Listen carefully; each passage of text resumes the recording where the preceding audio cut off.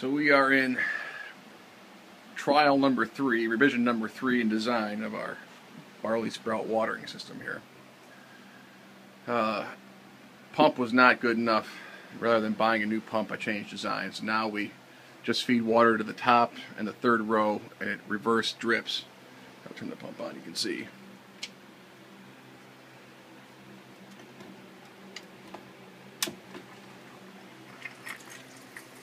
So now the water just goes to the third level. The trays just drip down to the next tray, which slopes down the opposite direction and then comes back down. Haven't gotten there yet. Comes back down, drips in the bottom tray, which then drains.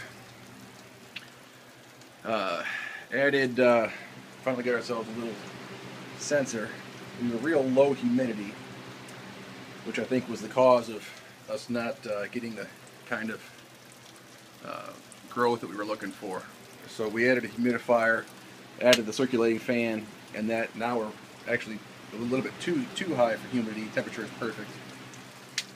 Uh, this is this would be day six right here. Uh, these first three batches, this is the third third third batch. I seeded them way too thick. If I was only supposed to seed them a half inch thick, I probably seeded them two inches thick. So I think that uh, was a problem with the growth, as well as also, um, um, you know, humidity was wrong, temperature wasn't great.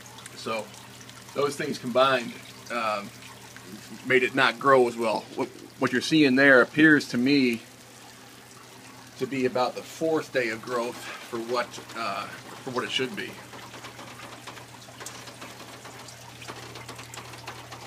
Um,